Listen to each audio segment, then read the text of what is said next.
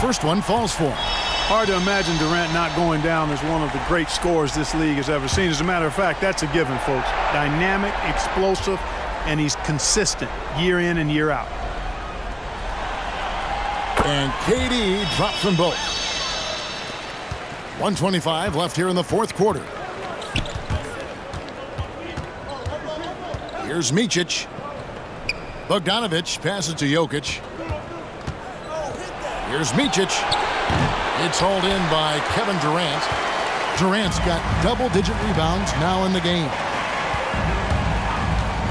Outside Curry. Misses the three. And I thought that was going to drop. It looked good from here. Shooting foul as the whistle blows. He'll shoot two free throws. Third personal foul. It's on Jarrett Allen. Shooting for the away team. The first one falls. Nikola Jokic at the line for two. And Jokic drops them both. No question who's been in control of this game. Boy, they have really taken charge here. Pass to Beal. Turner with it. Fades away. And the shot is long. Boy, that's got to be terribly frustrating there. I mean, with the defense not hustling and he still misses, boy, he wishes he had that one back. Jokic, good, nice job down low. Jokic. Jokic has got 32 points in the game. Around the hoop, Nikola is deadly.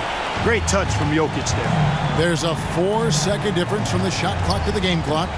And they call an illegal screen here. Miles And guys, point of emphasis for the league is to really crack down on illegal screens. Yeah, you know, he might have gotten away with that a few years ago, but not anymore. No way.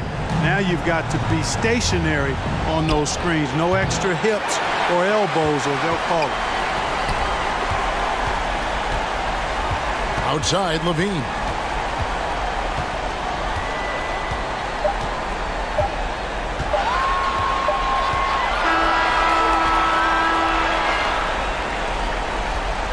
And they've done it, the new NBA champions. Well, they did it.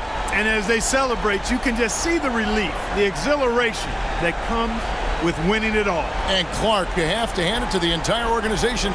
They worked together to get right here. And guys, what a reward for the fan base. I mean, I know one thing. They're going to enjoy this memory for a long, long time. And we have enjoyed our time with you folks all season long. This is Kevin Harlan saying so long. Have a wonderful summer.